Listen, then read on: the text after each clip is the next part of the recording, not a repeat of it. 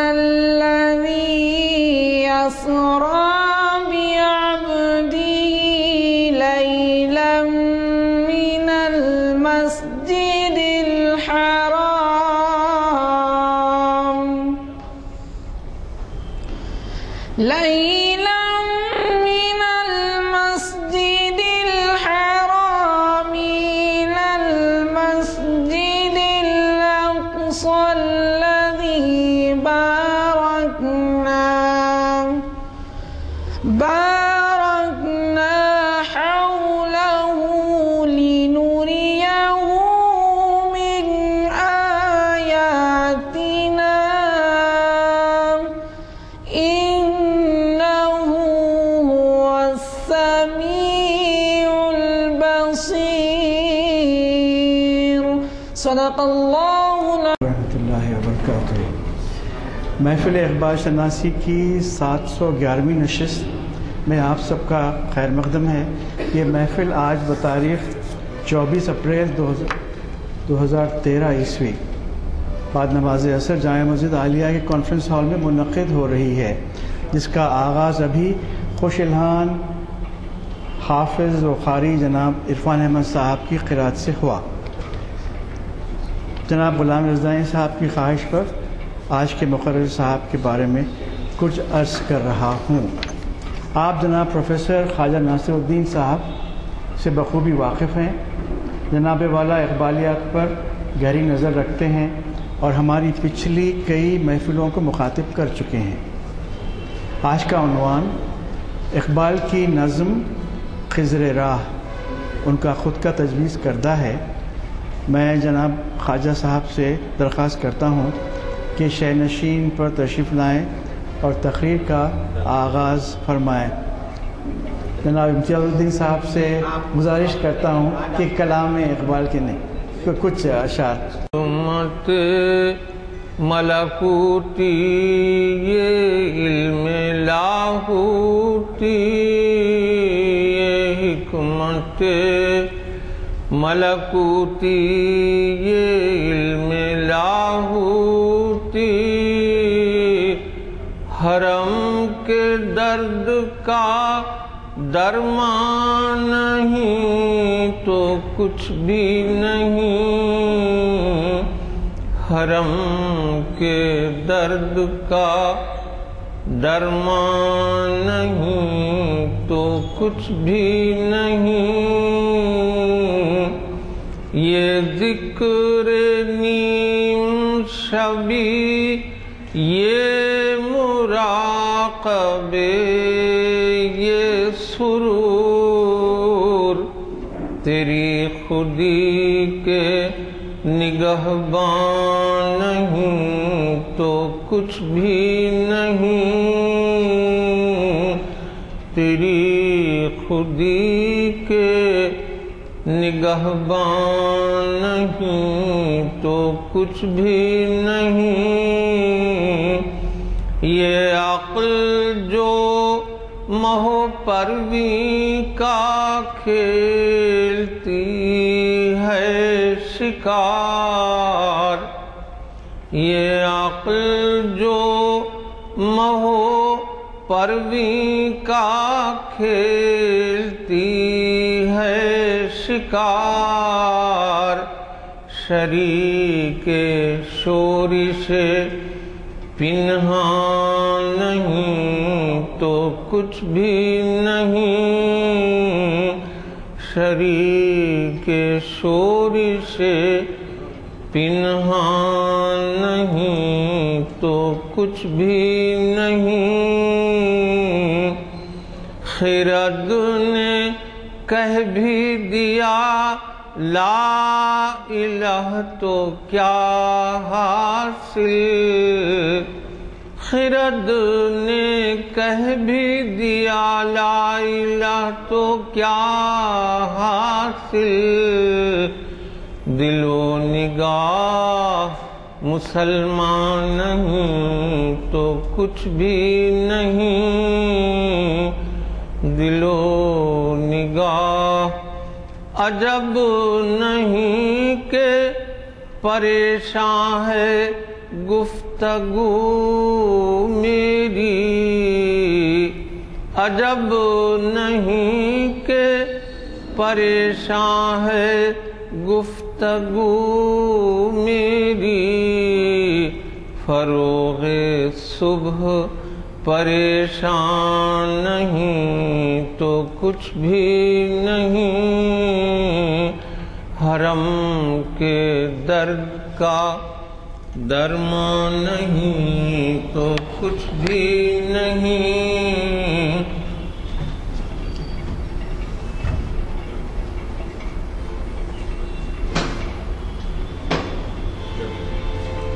कराम। जब मुझसे ये उनवान पूछा गया कि मैं किस मौजू पे आज बात करूँगा तो मेरा ख्याल ये था कि मैं खिजर राह इकबाल पे बात करूँ। फिर मुझसे कहा गया कि शायद ये उनवान थोड़ा सा दुश्वार हो जाएगा। अ, तो फिर मैंने ये कहा कि भाई ठीक है अ, हम बात करते हैं इकबाल की नज़म खिजर राह पर। जूं जूं मुताल इकबाल की तालब इल्माना प्यास बढ़ती जाती है तो आपको कुछ नई गुत्थियाँ आपके सामने सुलझते हुए सामने आने लगती हैं। मसलन ये कि खिजर राह अब जो आपसे बात करने वाला है, वो है कौन? जो शायर सवाल करने वाला है इस मौजू पे खिजर राह से, वो है कौन? जो शख्स सरमाया और मेहनत से मुतालिक गुफ्तगु कर रहा है, वो कौन सा इकोनॉमिस्ट है? और वो कौन है जो तुलो इस्लाम के ताल्लुक से आपसे बात करना चाहता है? फिर, ज़िंदगी जैसी नाजुक चीज़ जिसको हम अपने हाथों से हर रोज सुबह और शाम बर्बाद करते हैं। देखिए, अल्लाह ताला ने इंसान को तखलीक किया है, तखलीकियत की जिम्मेदारियों के साथ। अगर ज़िंदगी का हर लम्हा तखलीक से मुताबिक नहीं रखता तो इसका मतलब यह कि we are wasting our time खैर, इस ताल्लुक से तो हम मजीद बाद में बात कर सकते हैं। फिर यह है कि यह हुकूमत क्या चीज़ होती है?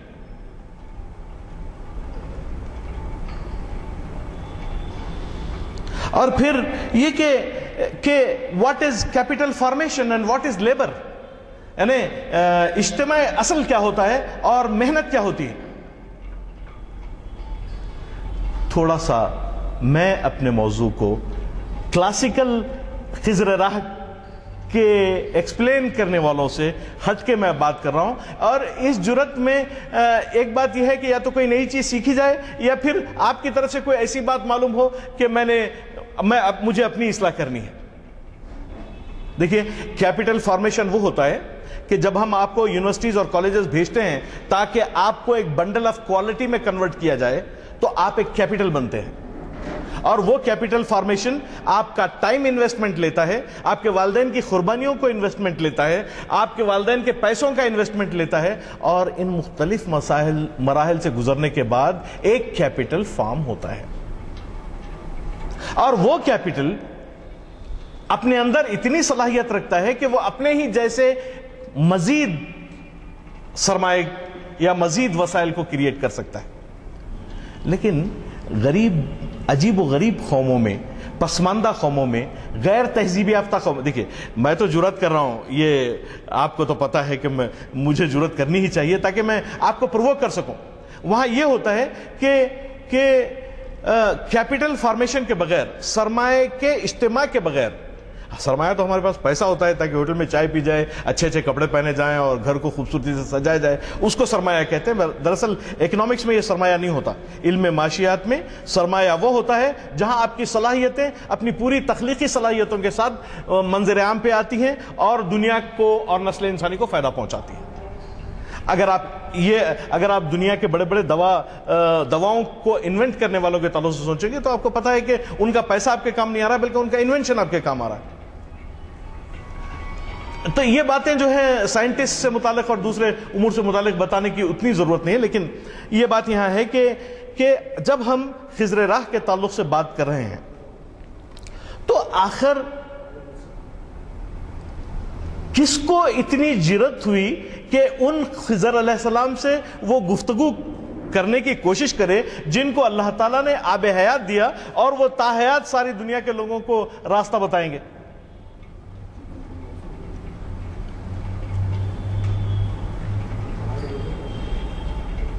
खिजर अलैहिस्सलाम की, इस शख्सियत की बीसवीं सदी में ज़रूरत क्यों पड़ी? मुसलसिल शिकस्त, मुसलसिल हार, मुसलसिल बेइज्जती और इज़्ज़त नफ्स के सरेंडर के बाद मुसलमान एक से, एक मुकाम से दूसरे मुकाम की तरफ़ मजीद गिरते ही चले जा रहे थे। बीसवीं सदी की इब्तदा में। 1908 में यह समझा गया कि ईरान तो गया। खिलाफत इस्मानिया की त्यापांचा यूनानियों ने इस तरह किया कि बरतानवी और फ्रेंच सिपाही तुर्की और अस्तंबुल की गलियों में दंदनाते फिरते थे।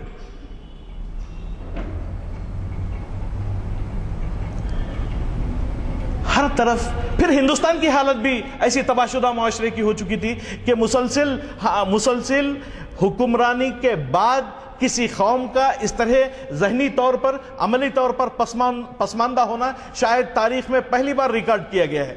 दूसरे दूसरी जंग अजीम की मुसीबतों को यूरोप ने तो बर्दाश्त कर लिया क्योंकि वो जानदार थे। कि क्योंकि वो वो पंद्रह सौ साठ के बाद बड़ी मेहनत और तगदों से इल्मियत और टेक्नोलॉजी के मैदान में आहिस्ता आहिस्ता वो कदम बढ़ा रहे थे।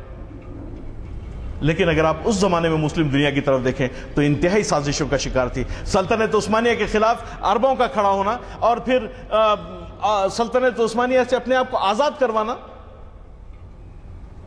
ईरान की जो हालत हुई, उसको तो रजा शाह ने बचा लिया। फिर बाद में आप देखेंगे कि सौ साल के बाद अतातुर्क मुस्तफ़ा कमाल जो है सामने आता है। और उस शख्स ने तुर्की को कौमियत की बुनियाद पर एक नए मुकाम से आरास्ता और आशना किया और यूनानियों को मार बाहर निकाला और फिर एक नए सिरे, जिसको इकबाल ने लिखा है कि खून सद हज़ार अंजुम से होती है सहर पैदा। तो हम जिस खजर राह का मुताला कर रहे हैं, वो खजर राह नॉर्मली अमूमी तौर पर हम तारीफ़ के पस मंजर में पढ़ते हैं। लेकिन आज मैं जिस खजर राह का ज़िक्र आपका, नजम तो वही है, इकबाल के ख्याल तो वही हैं, लेकिन ये हमारे स्टेटस को बताएगी। कि मौजूदा दौर में जिस मुकाम पर हम ठहरे हैं, वहाँ से फिजर हमारी क्या मदद कर सकते हैं? और फिर खिजर से यह बात बड़ी अहम मैं आपसे कह रहा हूँ खिजर सलाम से या खिजर राह से अगर आपको कोई सबक हासिल करना है, कोई चीज़ अगर आपको सीखनी है तो किस किस्म का मिजाज दरकार है? किस किस्म का शऊर दरकार है? और किस किस्म का तहजीबी और तारीखी पस मंजर दरकार है? ये मैं आपसे बिल्कुल नहीं कहूँगा, क्योंकि मैं आपसे बार बार ये कहता हूँ कि अल्लामा इकबाल को, अल्लामा इकबाल के अल्फाज में समझा जाए। अल्लामा इकबाल के फ़िक्र को अल्लामा इकबाल के फ़िक्र के अंदाज में समझा जाए। इसको समझाने के लिए किसी उस्ताद आ, मैं समझता हूँ कि उस्ताद बड़ी मुश्किल से मिलेगा। हालाँकि हमारे काफ़ी इस मौजूद हैं। तो उस क्यों मिलेगा कि जो तलमीहत जो जो तशबीहत और जो इशारे और किनाए और जो टेक्नोलॉजी इकबाल ने इस्तेमाल किया उससे पहले किसी ने नहीं की।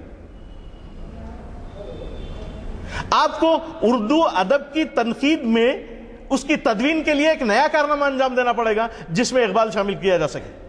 वरना नॉर्मल उर्दू अदब में आपको बड़ी मुश्किल से कोई ऐसी तनकीद मिलेगी, जिसके मैारात इकबाल के के प्रेजेंटेशन से मुताबिकत रखती हूँ, इकबाल की बातों से मुताबिकत रखती हूँ। क्योंकि आप जो ढूंढेंगे तनकीद की किताबों में, वहाँ, यहाँ तो वो तस्वीर और इश्तारे बिल्कुल मुख्तलिफ़ अंदाज से इस्तेमाल किए गए हैं। क्योंकि यहाँ चाँद अजीब, चाँद का रोल बड़ा अजीब है। महबूबा का रोल बड़ा अजीब है, मोहब्बत का रोल बड़ा अजीब है, टेक्नोलॉजी का रोल बड़ा अजीब है, और वहाँ जो है कुछ मामला दूसरा ही है।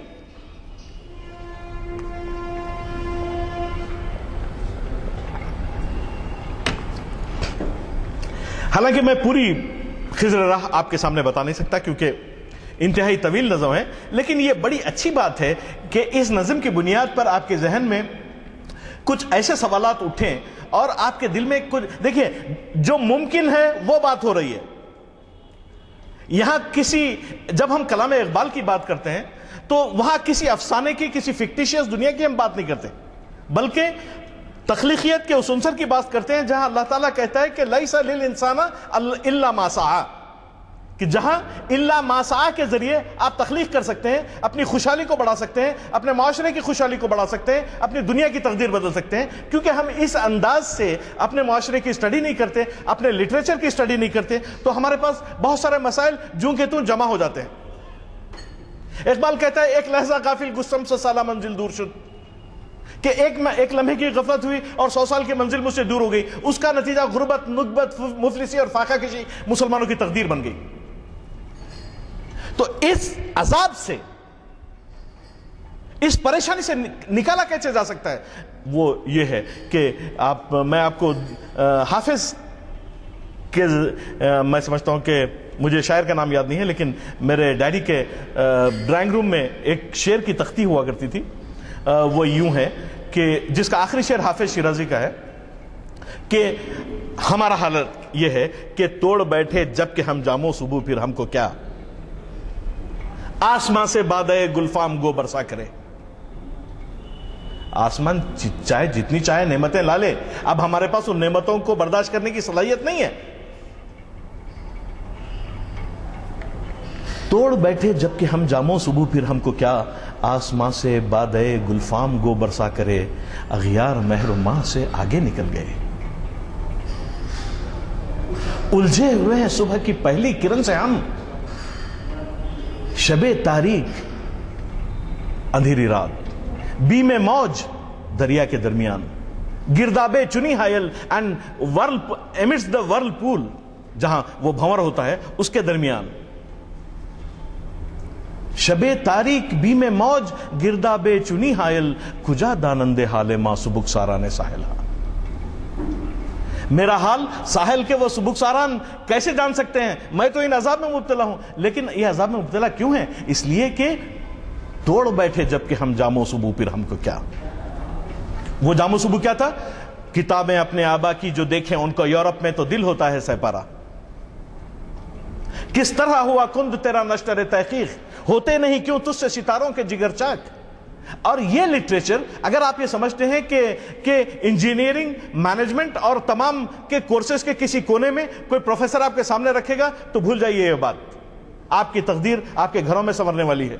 आज भी ये बात उतनी सही है जिस जिस तरह के आ, मैं समझता हूँ कि जेजानी साहब के जमाने में थी और हमारे जमाने में थी। अगर आप समझते हैं कि आपके मुकद्दर का सितारा बाहर के किसी आ, कोई और जो है चाँद या सितारा चमका देगा आप इसको भूल जाना पड़ेगा। गंवा दी। हमने असलाफ से जो असलाफ से मीरास पाई थी, सुरैया से जमी पर आसमान ने हमको दे मारा। हुकूमत का तो क्या रोना? यहाँ खिजर अलैहिस्सलाम हुकूमत की भी बात करते हैं, लेकिन हुकूमत का तो क्या रहना कि वो एक आर्जी शय थी? नहीं, दुनिया के आईने मुसलम से कोई चारा, मगर वो इल्म के मोती।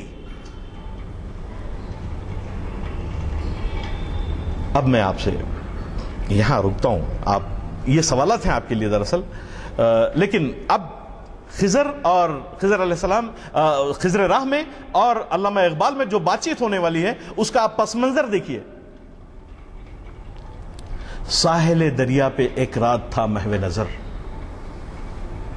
इकबाल कह रहा है कि साहिल दरिया पे एक रात था महवे नज़र, गोशे दिल में छुपाए एक जहान इस्तराब अगर आपके कलेजे में और आपके सीने में कोई धड़कता हुआ दिल है और अगर उसमें इस्तराब है और आप रात भर सोते हैं तो ताजुब की बात है।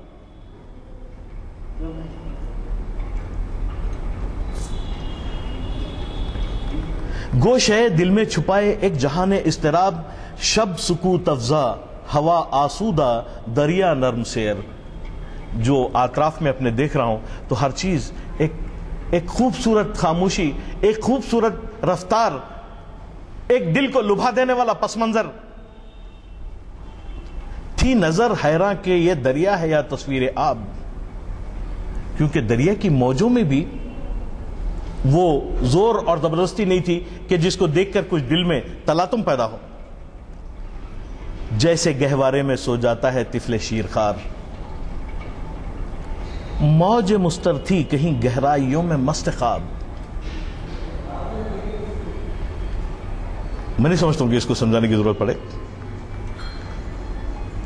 अगर खिजर खिजर राह से बात करना है तो पस मंजर ऐसा होना चाहिए, इतनी खामोशी होनी चाहिए, किसी के आमद का इंतज़ार होना चाहिए, कोई बात सुनने के लिए वो दम अपने अंदर पैदा करना चाहिए, वो ये नक्शा वो है। रात के अफसों से तायर आशियानों में असीर। अंजुमे कमजो गिरफ्तारे तिलसमे महताब। देखता क्या हूँ? वो पैके जहाँ पैमा खजर। देखता क्या हूँ? वो पैके जहाँ पैमा खिजर, जिसकी पीरी में है मानिंदे सहर रंगे शबाब। एक ऐसी पीरी जिसके अंदर तगोदव जिसके अंदर उम्मीद जिसके अंदर जिम्मेदारियों से नबरद आजमा होने की सलाहियत, वो सब मैं इस बुज़ुर्ग शख्सियत में, जिसके बाल सफ़ेद होंगे, जिसकी दाढ़ी सफ़ेद होगी, उम्र काफ़ी बड़ी हुई होगी, लेकिन मैं ये सब उसके अंदर देख रहा हूँ। जिसकी पीरी में है मानिंदे सहर रंगे शबाब, अब वो जो बात, इतनी खामोशी, इतनी फिजाओं की खामोशी के बाद, अब वो जो बात आपके सामने रखने की कोशिश कर रहा है, वो रख रहा है। और वो चाहता है कि आप उसको समझें तो वो ये है कि आप देखें। कह रहा है मुझसे ए जोयाए असरारे अजल। You want to know the secret from the beginning you are the person looking for secrets to understand the secrets from the beginning from the inception of the world इस दुनिया के शुरू होने से मुतालिक जितने सीक्रेट हैं असरार हैं। उसको इकबाल की तलाश है कि भाई, ये बनी क्यों? और ये फिर ये टूटी क्यों? फिर हम इसको बना क्यों नहीं सकते? That was the question Iqbal was dealing with अब पीरे रूमी सामने आते हैं तो ये कहते हैं कि जिसकी पीरी में है मानिंदे सहर रंगे शबाब, कह रहा है मुझसे ए जोयाए असरार अजल, चश्मे दिल वाहो तो है तकदीर आलम बेहिजाब। कोई बहुत बड़ा कारनामा नहीं है, कोई बहुत बड़ी मुश्किल नहीं है। तुम इतनी परेशानी में दरिया के किनारे ठहरे हुए हो। मामूली सी बात है कि चश्मे दिल वाहो तो है तकदीर आलम बेहिजाब।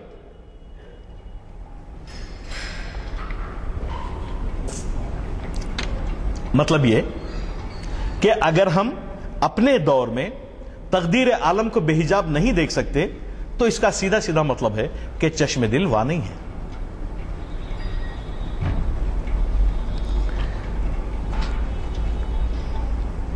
दिल में खिजर खिजर राह की ये बात सुन के, इकबाल की जो कैफियत हुई वो ये है। दिल में ये सुनकर बेपा हंगामा मैशर हुआ।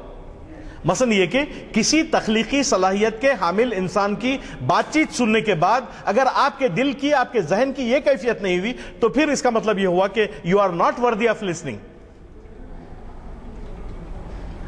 Iqbal के ताल्लुक से प्रोफेसर रशीद अहमद सिद्दीकी ने 1935 के एक आर्टिकल में जबकि इकबाल का इंतकाल हो रहा था यह लिखा कि मैं इकबाल को 1928 में यह बोला कि आप कौम को धोखा दे रहे हैं। अगर यह बात जमाने को मालूम हो जाएगी तो आपकी शख्सियत क्या होगी? तो इकबाल मुस्कुरा के बोले कि क्यों, क्या हुआ? तो बोले, रशीद अहमद सिद्दीकी ने यह कहा कि हम जब आपकी प्राइवेट महफिलों में बैठते हैं तो आप ऐसी ऐसी बातें बताते हैं जो आपकी शेर व शायरी और फलसफे में मौजूद नहीं है। और यह जुर्म है। आपको तमाम अपनी मालूम लोगों तक पहुंचाना चाहिए। अगर यह मालूम हो गया तो लोग जो है आपको धोखेबाज कहेंगे। तो अल्लामा इकबाल ने यह कहा कि हमारे दौर का यह कर्ब है कि जिनकी मालूमात ज़्यादा हैं, वो कहने के लिए अपने पास अल्फाज नहीं रखते। और जिनके पास ज़ीरो डिग्री ऑफ़ नॉलेज है, वो सब कुछ कहने के लिए तैयार है। तो यहाँ यह बात बड़ी अहमियत रखती है जो सवालात हमारे जहन में हो कि ये कि दिल में ये सुनकर बेपा हंगामा महशर हुआ। क्या सुन के हंग, बेपा हंगामा महशर हुआ? चश्मे दिल वाह हो तो है तकदीर आलम बेहिजाब। हम अपने बच्चों की तकदीर बनाना चाहते हैं। देखिए मेरे वालदेन मेरे पीछे इतनी मेहनत इन्वेस्ट किए हैं कि any money any amount of money would have not serve the purpose उनकी सोबतों से, उनके मुताले से, उनकी नसीहतों से। और खुद यजानी साहब यहाँ बैठे हैं, या हमको बचपन से जानते हैं कि इतना कुछ हमने हासिल किया है कि आज हमसे अगर आप कोई खराब काम लेना चाहें भी तो मुमकिन नहीं चश्मे दिल वाह हो तो है तकदीर आलम बेहिजाब। दिल में यह सुनकर बपा हंगाम महशर हुआ, मैं शहीद जुस्तजू था, यूँ सुखन गुस्तर हुआ। मैं तो जानने की कोशिश में लगा होता था। खिजर की, खिजर राह की इस बात से मैं बड़ा खुश हुआ। बोला कि चलो दो चार क्वेश्चन और कर डालो। ऐ तेरी चश्मे जहाँ भी पर वो तूफ़ान आशकार, जिनके हंगामे अभी दरिया में सोते हैं खामोश। अल्लाह ताला ने खजर सलाम को यह सलाहियत दी है कि वो अननोन को जानते हैं, मुस्तकबिल को जानते हैं, माजी से तो वो गुजरते ही रहे हैं। तो ये तमाम मसाले से तो अब इकबाल से पूछ रहे हैं कि भाई, कि आप उन चीज़ों को भी जानते हैं जो अभी वजूद में नहीं आए? कितने हंगामे इस दरिया के पानी में मौजूद हैं छुपे हुए हैं वो कब सामने उभर के आए ये आ, ये बात हमको पता नहीं लेकिन आपको पता हो सकता है लेकिन अब मैं पूछ रहा हूँ। कश्ती मस्कीन वो जाने पाक वो दीवार यतीम। इल्म मूसा भी तेरे सामने हैरत फरोश। अरे इकबाल खिजर राह से खिजर सलाम से कह रहे हैं कि ये तमाम चीज़ें जिनका ज़िक्र कुरान में है आप वाकिफ हैं अच्छी तरह। इन चीज़ों को देख के इल्म मूसा भी आपके सामने हैरान था। छोड़कर आबादियाँ रहता है, तू सह, रहता है तू सहरा नवर्द। ज़िंदगी तेरी है बेरोजो, शब वो फरदा, वो दोष। ज़ाहिर है कि खजर सलाम को अल्लाह ताला ने आब हयात दिया है और वो हमेशा ज़िंदा रहते हैं तो उनकी ज़िंदगी में आज और कल नाम की कोई चीज़ नहीं होता। वो टाइम को अपनी ग्रिप में रखते हैं, टाइम के ग्रिप में वो नहीं होते।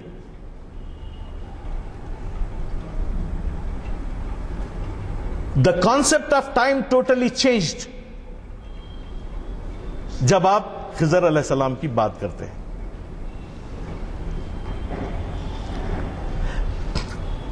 My question to you is मेरा सवाल आपसे यह है कि ज़िंदगी का राज क्या है, सल्तनत क्या चीज़ है?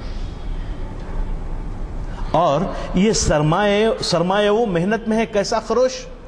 आप याद रखिए कि 1921 में यह नज़म लिखी गई।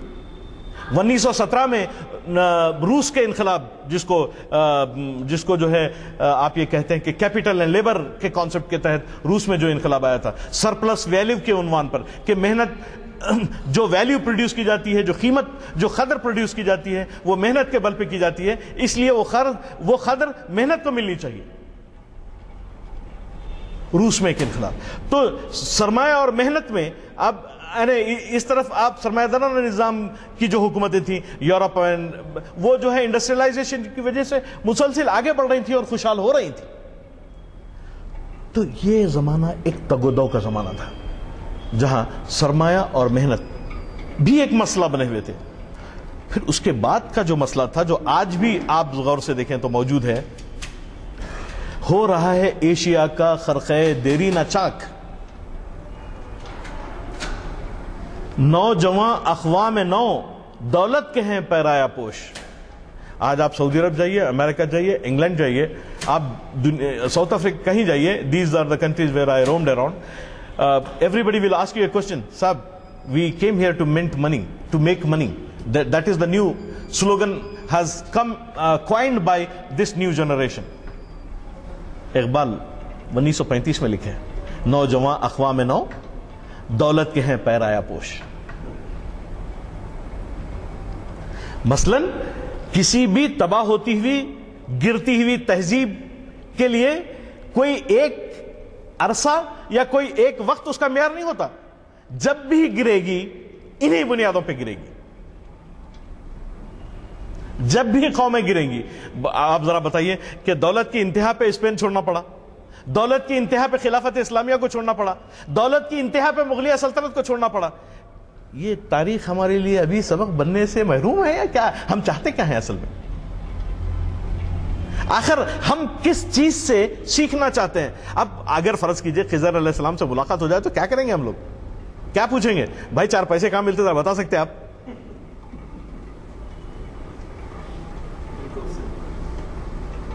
और यहाँ है कि इकबाल। वो ये बोल रहे हैं कि नौजवान अखवा में नौ दौलत के हैं पैराया पोश। गरचा अस्कंदर रहा महरूम आबे ज़िंदगी। फितरत अस्कंदरी अब तक है घर में नाउनुश। वो भी बहुत पैसे कमाने की कोशिश करा सिकंदर भी। मखदूनिया से निकल के हिंदुस्तान तक आया और जब वापस जाने लगा और जब उन्हें मर गया तो बोला कि भाई, अब तो कम से कम मेरे हाथ बाहर रखो ताकि ये बताऊँ कि ये सब कुछ नहीं है।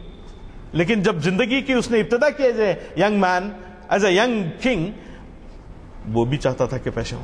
लेकिन यहाँ इकबाल सिकंदर की बात नहीं कर रहे हैं। इकबाल इस बात की बात कर रहे हैं कि ये जो ये जो फितरत सिकंदरी है, ये हमारे और आपके मरने के बाद भी मौजूद रहेगी।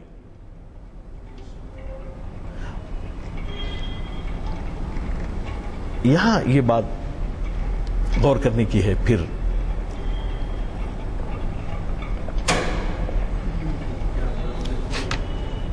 ये जो मसला है, आज भी आप इराक के कॉन्सेप्ट में, सीरिया के कॉन्सेप्ट में, इजिप्ट के कॉन्सेप्ट में, लीबिया के कॉन्सेप्ट में, और ना जाने क्या क्या मसाइल आपके सामने आएँगे, उनके कॉन्सेप्ट में अगर आप गौर करें तो ये एक यहाँ उस दौर की एक परेशानी है, कि बेचता है हाशमी नामों से दीन मुस्तफ़ा।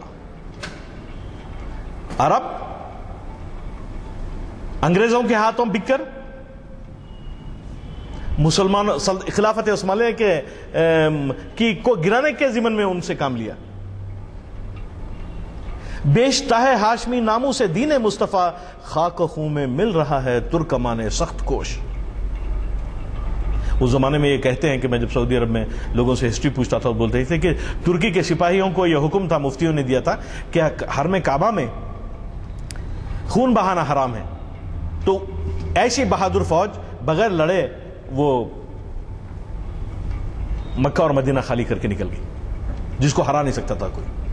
आज भी आप मदीना मुनवरा में, जो आप रेलवेज देखेंगे वहाँ पे, एक टूटी फूटी ट्रेन उस जमाने की, जिसको अरब आज तक अपने करोड़ों रुपए की दौलत के बावजूद बिलियंस ट्रिलियंस की दौलत के बावजूद भी नहीं कर सके। करेंगे, कभी कोई ना कोई चमत्कार होगा। लेकिन उस जमाने में 1920s में तुर्कियों ने उसको बनाया था। इकबाल बेचता है हाशमी। नामू से दीन मुस्तफ़ा खाक खूं में मिल रहा है तुर्कमान सख्त कोश। फिर आपसे यह सवाल है कि आग है औलाद इब्राहिम है नमरूद है? फिर भी मंज, मंजरनामा बदला नहीं है। आग है औलाद इब्राहिम है नमरूद है। क्या किसी को फिर किसी का इम्तिहा मकसूद है? आप बोलिए नहीं नहीं साहब हम लोग बहुत आराम से हैं कोई ऐसा मसला नहीं है। आ, सब ठीक ठाक चल रहा है। ऐसा क्या मसला है? बच्चे हमारे घर में सो रहे हैं। हमारे पास कोई कारनामा करने के लिए कोई ऐसा कोई खास काम तो है नहीं। लिहाजा हमारे प्रॉब्लम क्या है? खाना तो रोज मिलता है और सुबह से शाम होती है। बार बार मुझे ये कहना पड़ता है कि याद रखिए कि इंसान की ज़िंदगी में 100 इंटू थ्री सिक्सटी डेज़ होते हैं। एट बर्थ अगर उनको आप 100 को अगर 360 से जरब दें तो छत्तीस हज़ार दिन होते हैं। एट बर्थ जब आप आँख खोलते हैं तो वो छत्तीस हज़ार दिन आपके सामने होते हैं। एक दिन अगर गुजरता है I am a mathematics student आप खुद इसको चेक कर सकते हैं कंप्यूटर पे। My dear young friend you can do that why one need to be creative and productive?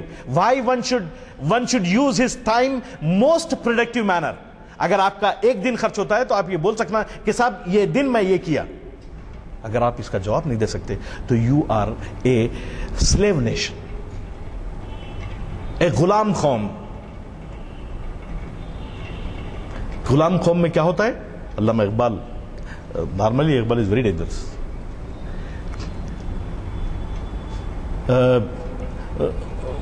गुलाम कौमों की रिम्स का बस इतना ही है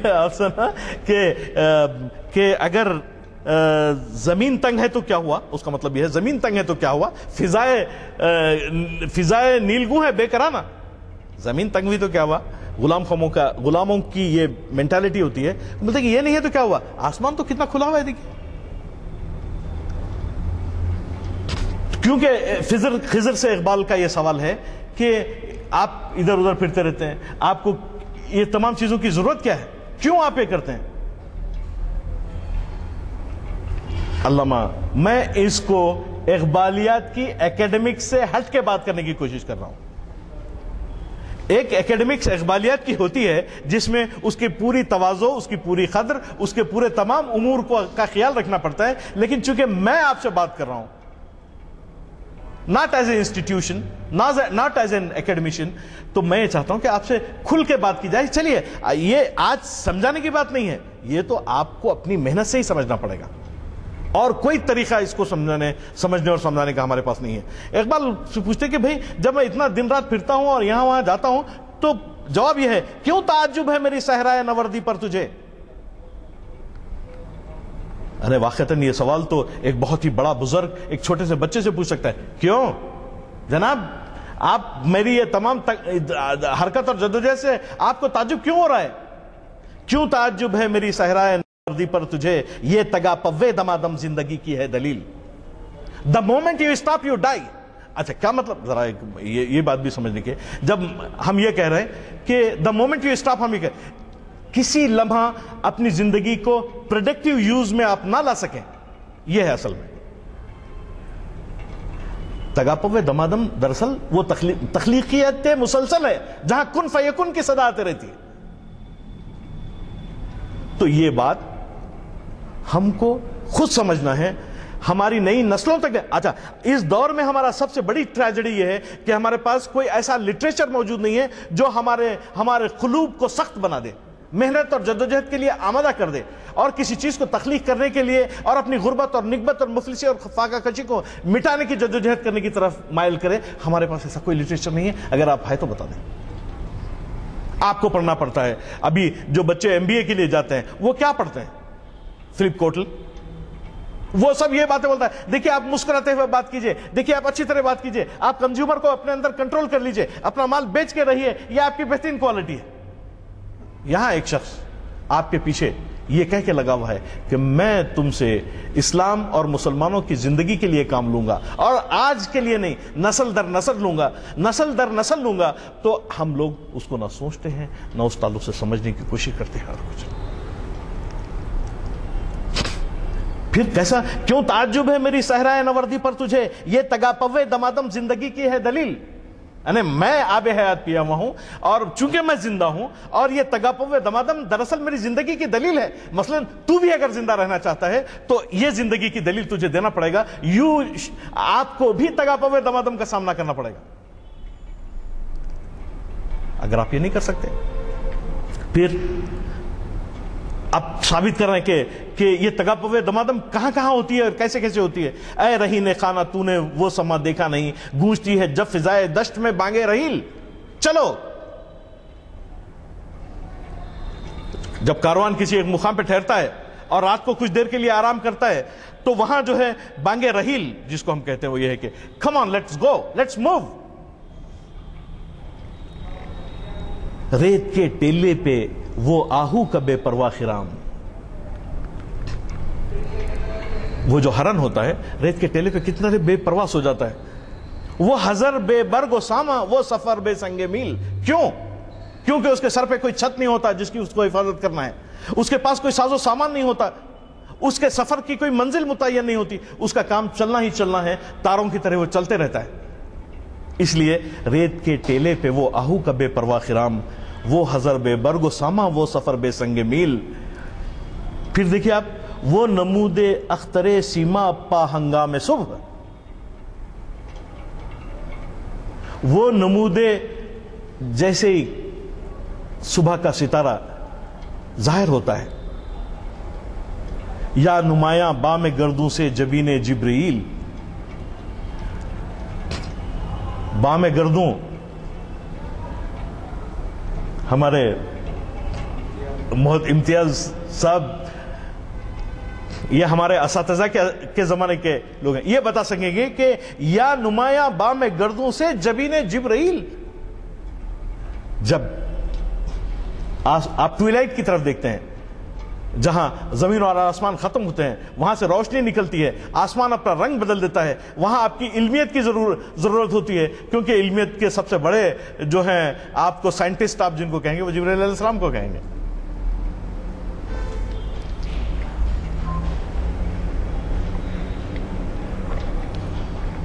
वो सुकूते शाम सहरा में गुरूब आफ्ताब। शाम शाम के सहरा में डेजर्ट ऑफ़ सीरिया आज के सीरिया नहीं, अब तारीख में ही देखेंगे हम, क्योंकि अब तो वो है कि मैदान जंग। जिससे रोशन तर हुई चश्मे, जहाँ बीने खलील, और वो पानी के चश्मे पर मुकाम कारवां, अहले ईमा जिस तरह जन्नत में गर्दे सलसबील, देख लोग किस तरह के एक कारवान किस तरह जो है इस पानी के चश्मे के आतराफ ठहरा हुआ है कि वो कुछ अपनी प्यास बुझाए और फिर आगे बढ़े। रुकना इसका काम नहीं है। ताज़ा वीराने की सौदाए मोहब्बत को तलाश। ज़िंदगी के तगोदो और स्ट्रगल करने वाला सौदाए मोहब्बत जिसको आप इस्लाम की तारीख में आप ढूंढ सकते हैं। हज़रत बिलाल हफी रज़ी अल्लाह की शख्सियत में आप इसको ढूंढ सकते हैं। हज़रत अली करमल्ला वजह की शख्सियत में आप ढूंढ सकते हैं हज़रत अबू बकर सिद्दीक रज़ी अल्लाह की शख्सियत में आप इसको ढूंढ सकते हैं। लेकिन इतनी तमाम मिसालें हम इन मिसालों को जिस पे हम प्रैक्टिस कर सकते हैं अफसानवी मिसालें बना के रख देते हैं। यानी आपको तो ये लगता नहीं कि हम हज़रत अबू बकर सिद्दीक की, की तरह जो है हम कोई काम ही नहीं कर सकते। आपको ये लगता ही नहीं कि जब जक़ात देने का वक्त आए तो आपको क्या करना चाहिए?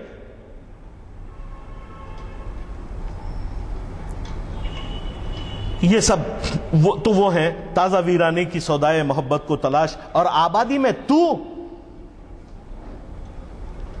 जंजीरी किश्तो नखील मिट्टी और दरख्त के दरमियान वो खजूर खाते हुए पड़ा हुआ है।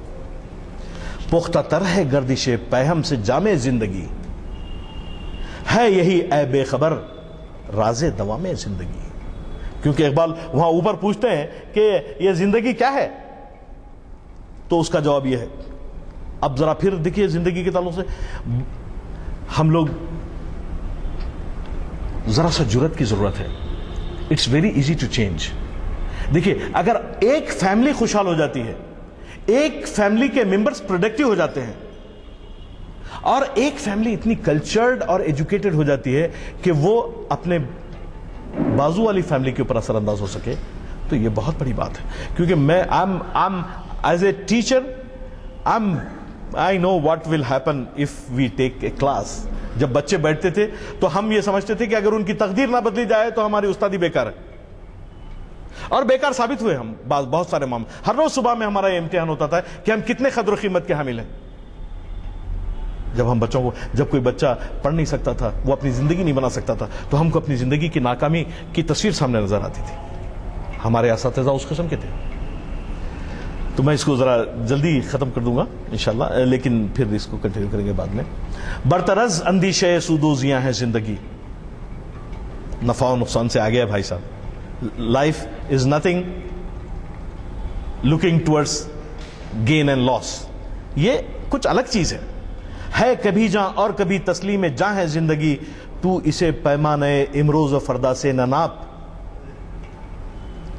जावेदा, पहम दवा, हरदम जवा है ज़िंदगी। अपनी दुनिया आप पैदा कर अगर जिंदों में है। अपनी दुनिया आप पैदा कर अगर जिंदों में है। सिर आदम है, जमीर कुन फका है ज़िंदगी। कुन फका का जमीर का मतलब जरा बोलिए बी। अल्लाह ताला कहता है कि बी। हो जा तो हो जाती है। जिंदगानी की हकीकत।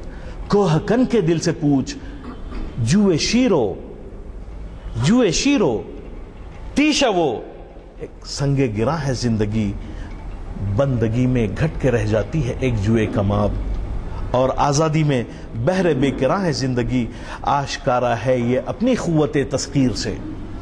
ज़रा गौर करिए, अगर आप ज़िंदा हैं तो अगर आप अपनी क़ुत अगर आपकी ज़िंदगी में क़ुत तस्खीर मौजूद है तो फिर आपकी ज़िंदगी का एक्सप्लेनेशन मौजूद है। उसका डेफिनेशन मौजूद है। आशकारा है ये अपनी क़ुत तस्खीर से।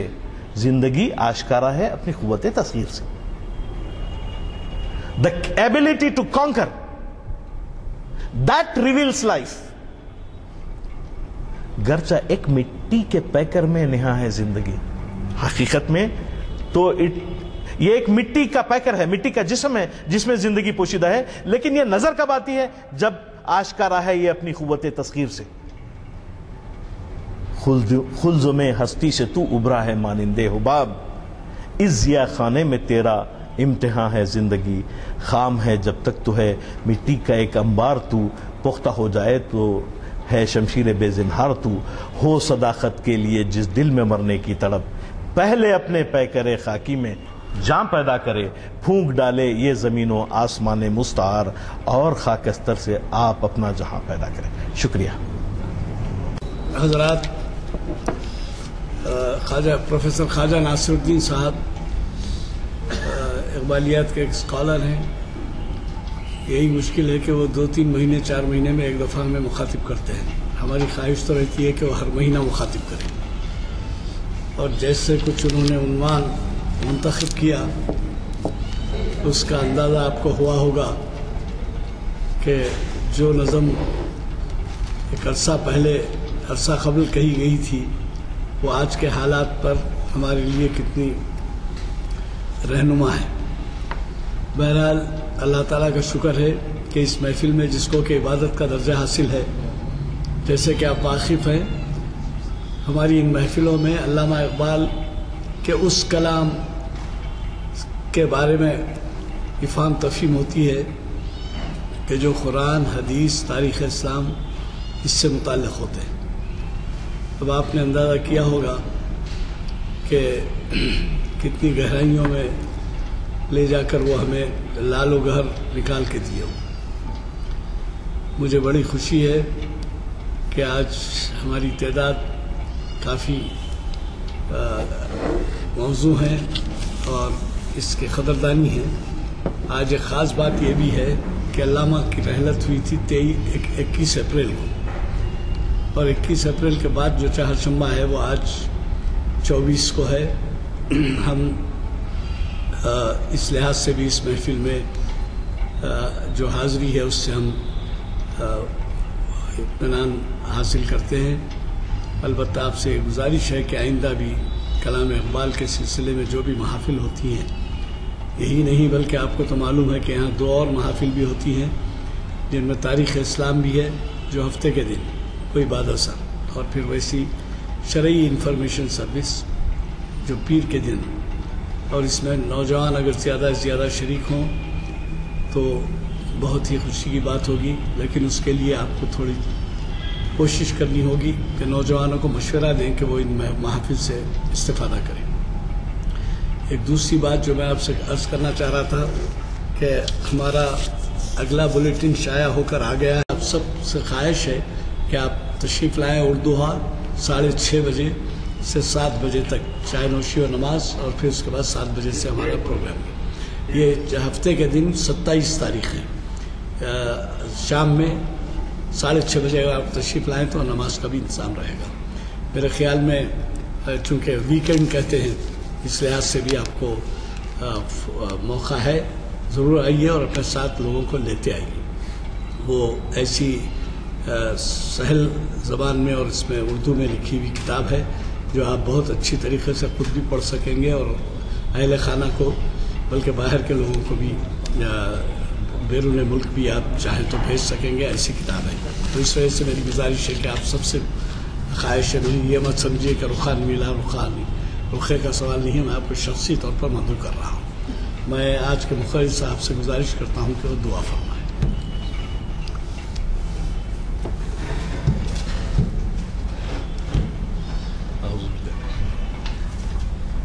मुश्किलें उम्मत मरहूमा की आसान कर दे। मोरे बेमाया को हमदोश सलेमा कर दे, जिनसे नायाब मोहब्बत को फिर अर्जा कर दे, हिंद के दैर नशीनों को मुसलमान कर दे।